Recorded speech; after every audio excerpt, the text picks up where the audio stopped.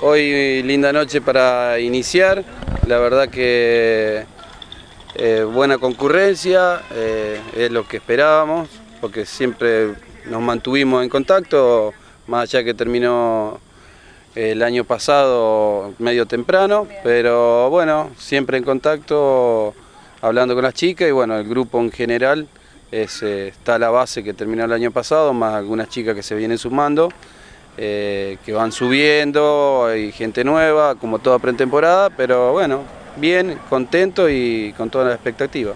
Hoy se convocó a qué categorías? Está quinta, reserva y primera, eh, que son las mayores, donde desde ahí eh, se mecha para, depende del torneo que vamos a jugar este año, eh, si es que vamos a subir a la zona campeonato, es presentar todas las categorías. Perfecto. Mauro, vos como, como profe, como preparador físico, ¿cómo has planteado y planeado esta pretemporada? porque son unas buena cantidad de semanas ¿no? para, para entrenar tranquilamente. ¿Qué tal, Meli? ¿Cómo andas? sí, la más que nada hoy la idea es un poco evaluativa de, que ellas vean cómo han estado, cómo están para arrancar este año, eh, cómo estuvieron trabajando en las vacaciones, si han hecho algo no, se nota hoy en el primer día. Así que más que nada hoy es algo evaluativo para tener más o menos los parámetros de cómo vamos a trabajar durante la pretemporada. Eh, normalmente arrancamos en febrero, este año arrancamos dos semanitas antes porque la idea también de ver las competencias que vamos a encarar este año, así que con todas las pilas. Eh, las chicas están predispuestas, ¿no? Eh, siempre el primer día es un poquito más, más complicado, ¿no? Después del regreso. Sí, la verdad que sí. No, están con muchas ganas, la verdad que como dijo Adrián, un lindo número, un buen grupo de chicas, eh, la mayoría que continúan del año pasado y bueno, las que se suman nuevas, que tienen edad de quinta ya, que, suben de la sexta del año pasado, así que también afrontando un desafío nuevo que es jugar con el plantel superior, que es algo que es muy lindo para ella. Eh, así que sí, están enchufadas, eh, estamos, nosotros también estamos con muchas ganas, si Dios quiere, con, con la cancha, con un torneo nuevo que se viene, así que las expectativas son muchas. Y también después de lo que fue el 2018, ¿no? que también siempre eh, se mantiene, siempre se, continúa con la disciplina, que es lo, primordial, y bueno, con el respaldo obviamente de las chicas, de la subcomisión y demás, eso da aliento para comenzar en enero sin ningún problema. Sí, obviamente uno cuando termina un año como el año pasado evalúa las cosas buenas y las cosas malas, no siempre se hace todo bien, hay cosas que se, uno se equivoca, como todo ser humano, y bueno, eh, uno trata de afinar la puntería y para iniciar un año nuevo, decir, bueno, ¿qué hice mal, qué hice bien? Y bueno, este año presentamos, la idea es arrancar un torneo nuevo, jugar eh, otras competencias, eh, teniendo la perspectiva que va a estar la cancha, se ve que se está trabajando, así que estamos muy cerca y bueno, eso nos va a llevar a a obviamente volver a lo que en un momento era jugar siempre todos los fines de semana en un sintético. O sea, a nosotros se nos hacía muy, muy cuesta eh, jugar y entrenar en, el césped, en el pasto propiamente dicho, y después encontrarnos en una cancha que un sintético que corre de otra manera, de que se juega de otra manera y otro ritmo.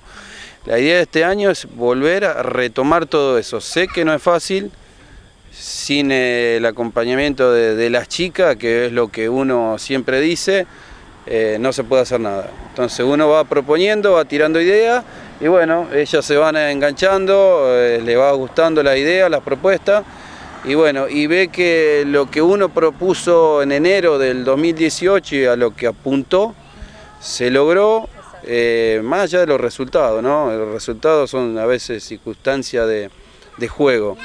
La idea es mantener un, grupo, una estructura y que el hockey siga creciendo eh, a nivel local o un poquito más eh, de lo que es San Carlos. Mauro, ya que estamos, también aprovechamos a hablar un poquito más de, las chiquitas, también cómo fue el año pasado junto a Lore, me parece que estuvieron al frente ¿no? de las formativas. Sí, eh, bueno, Lore estaba con la parte más de las competitivas y con Nati Brum estábamos en lo que es infantiles.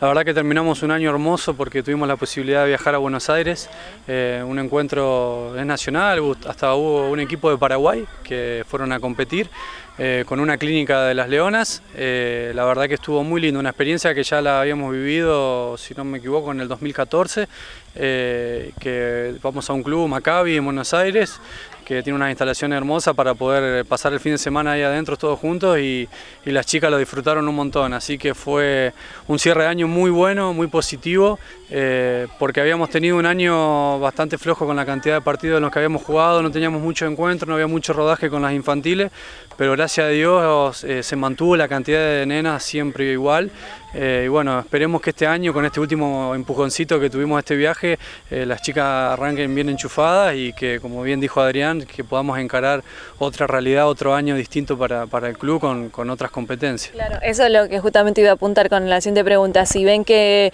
se ha hecho algún recambio o se aspira para otras cosas, también desde abajo eh, también incide, ¿no? Sí, seguro, seguro que sí. Eh, bueno, nosotros para arrancar a entrenar con las chiquitas siempre esperamos el inicio de las clases porque ellas se desenchufan y hasta que no arranquen con, con las eh, actividades habituales no, no vuelven al club.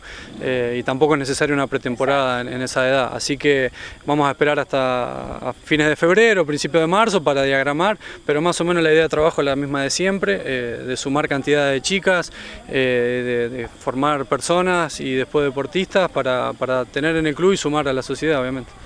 Eh, Adrián, la última es, eh, bueno, hoy comenzó la pretemporada, pero aquella eh, chica que está interesada en la, práctica del hockey puede sumarse, qué días van a estar, qué es lo que tiene que, qué condiciones tiene que reunir un poquito para, para poder formar parte del plantel sin ningún problema. No, condiciones ninguna, es venir, sumarse, así alguna vez agarró el palo o no, no importa, acá tenemos todo para darle pueden venir tranquilamente, eh, no vengan con miedo porque nunca agarraron el palo y tienen capaz que 20 años y digan no puedo jugar hockey, no, no, el puedo acá no, no existe.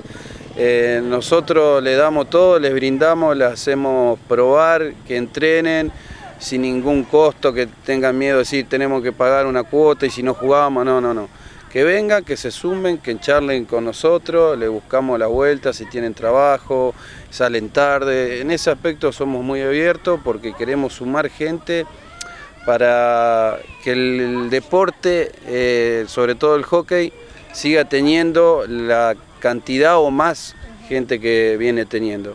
Y bueno, y obviamente, eh, más allá de lo que es eh, resultados deportivos, es tratar de formar grupos que la gente sepa o las chicas sepan lo que es estar dentro de un grupo de trabajo y que hace tan bien el deporte para a veces desintoxicar muchas cosas de que hoy eh, hay en la vida. ¿no?